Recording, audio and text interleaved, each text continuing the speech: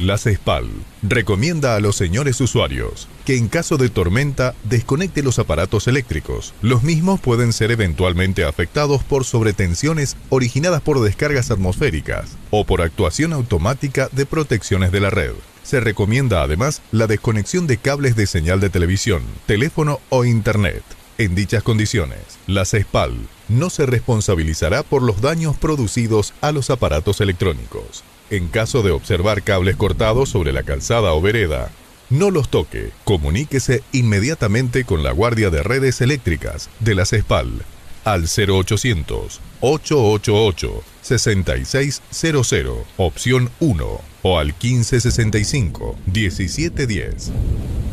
Es un consejo de la CESPAL.